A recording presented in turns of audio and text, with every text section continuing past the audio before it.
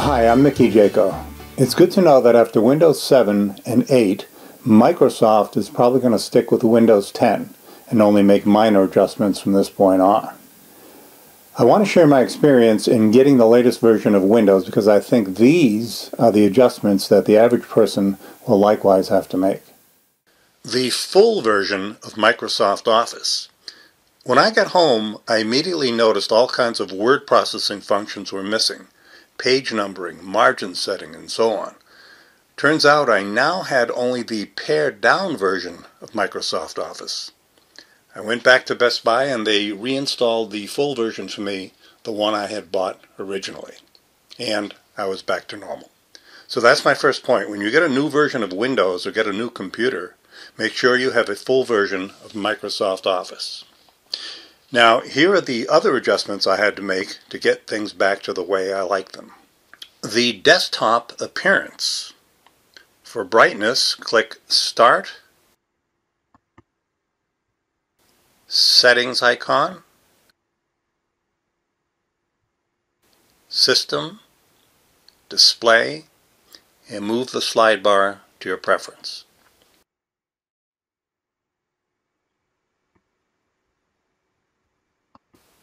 For screen background, click Start, Settings, Personalization, the drop-down arrow here. I prefer a solid color and not a picture, so I picked dark gray, although I decided to go with black this time. Just click on the color and close. I asked the Best Buy person what he uses. Surprise, he said he uses black also. I'm not weird. I kind of like the black because it shows the pointer pretty clearly. The desktop icons. I had to get all my desktop items back onto the desktop. I transferred my major files that I had backed up on an external hard drive back to my computer. I set the size of my icons. Right click an empty spot on the desktop. View. You have the choice of large, medium, or small. I like small. From the left of my Documents folder, I dragged the This Computer icon to the desktop.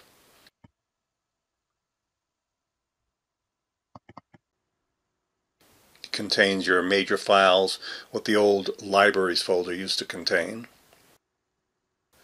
I put my frequently used folders and documents back up by finding them under my documents, right-clicking them, send to, desktop create shortcut.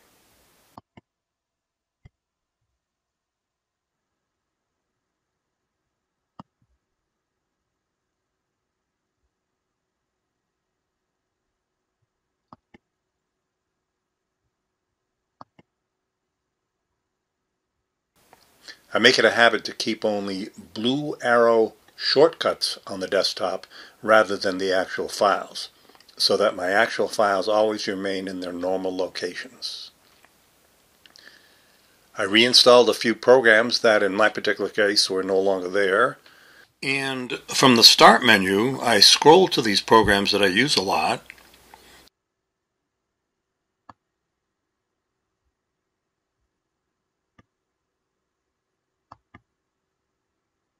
and dragged a shortcut for each of them onto the desktop. And I arranged all my shortcuts to my liking.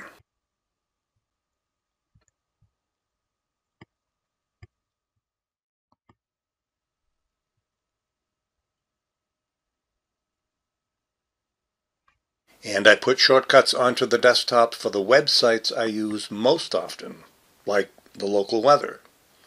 I use Google to get the site URL.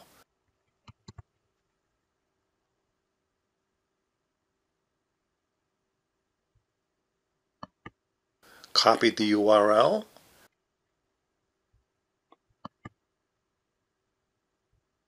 Right-clicked an empty spot on the desktop. New.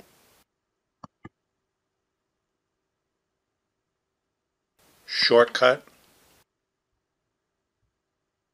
paste it in the URL, next, named it, weather, finish. And here is an icon for that site. Other sites that I use a lot, but not all the time, I keep on my favorites bar. The favorites bar. First I had to get the favorites bar back. You click the three dots icon at the upper right, settings near the bottom, show the favorites bar, on, close. I used Google to bring up each of my favorite sites and put them onto my favorites bar. Amazon, for example.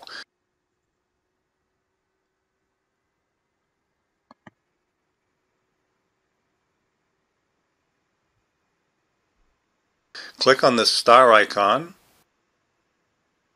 this down arrow, select Favorites bar, Add, and it puts it up on your Favorites bar. You can drag it to the spot you want.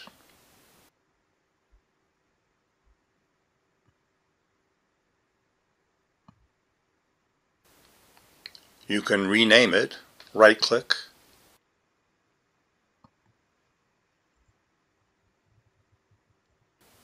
press enter, or you can reduce its size to just an icon.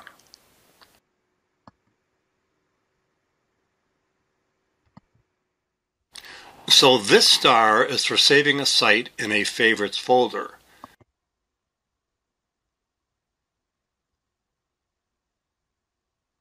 This one shows your favorites folders. Say you don't use a site as much as you used to and want to get it off your favorites bar, but just keep it in a folder. Get the site up, click this icon, the down arrow, click on favorites folder at the top, save. And note how the site disappeared from the bar and is now only in the folder.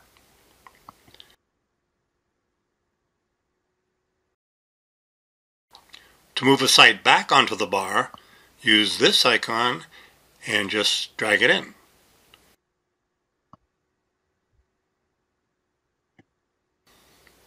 These arrows on the left open and close the folders.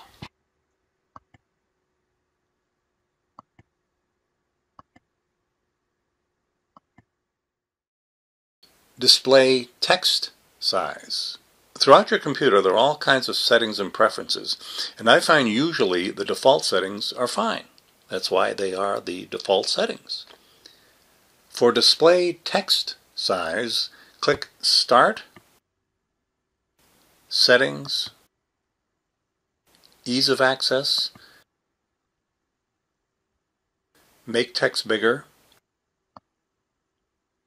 drag the slider to your preference. I like 125. Click Apply and wait a few seconds for it to take hold. I set this lower one to the recommended 125 also. This bottom one applies right away. The only thing I don't like about the 125 size is that the document ribbon takes up a lot of space. But you can click this up arrow here and it disappears. Click one of the tabs up here and it reappears, but smaller. Click this pin icon and it becomes bigger again. I find 125% to be fine for internet page size also. You click on the three dot icon at the far upper right and click plus or minus to get the size you want.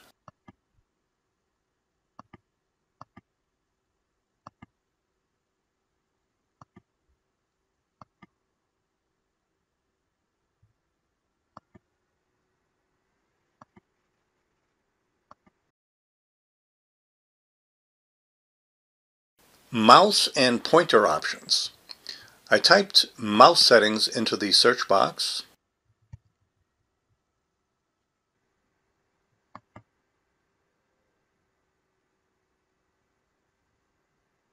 Additional mouse options over at the right.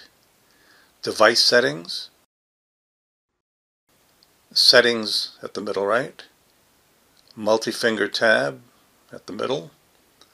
Uncheck enable zooming, OK. That gets rid of the mouse pinch functions that I don't like. I also unchecked enable tapping.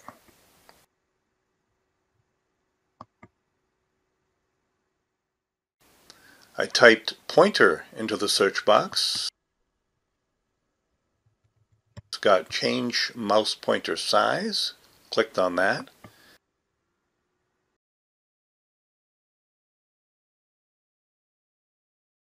It gives small, medium, and large. I like large. It gives white, black, and reverse. I like reverse.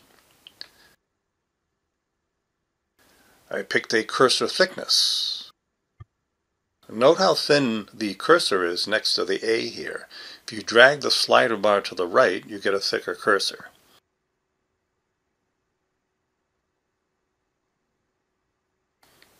I like the thickness at 3.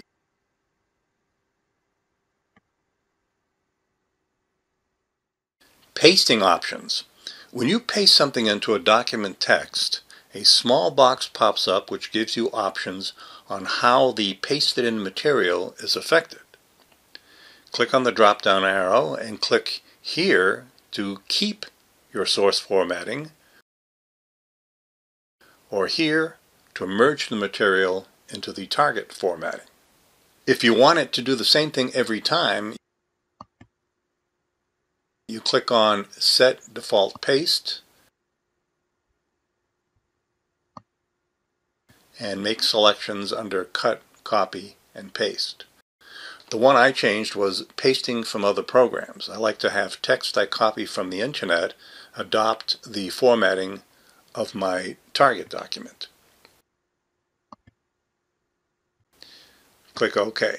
Now, internet text that I paste in automatically changes into my target document formatting. This small paste options box disappears as soon as you hit your next keystroke, but I find it very annoying. so I clicked File, Options, Proofing, Advanced, and that brings you to the same cut, copy, and paste options. I unchecked Show Paste Options button when content is pasted. OK. Now it doesn't pop up anymore. Home page setting. Say you like your browser to open up to your email or the weather. For Microsoft Edge, copy the URL, click the three dots icon, settings at bottom, open Microsoft Edge with a specific page or pages, paste in the URL in this spot here, and click the small save icon here. Now your browser automatically opens up to the weather.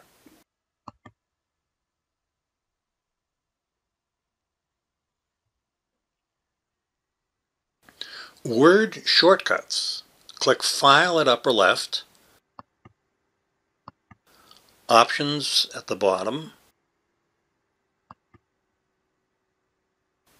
Proofing at upper left, Auto correct options. Type in a unique logical abbreviation on the left, the full word on the right.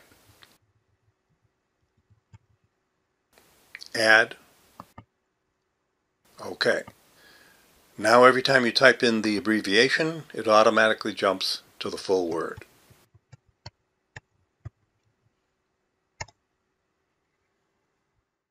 Symbol shortcuts. Click Insert tab, symbol drop down arrow, symbol, more symbols, Find the symbol you want and highlight it.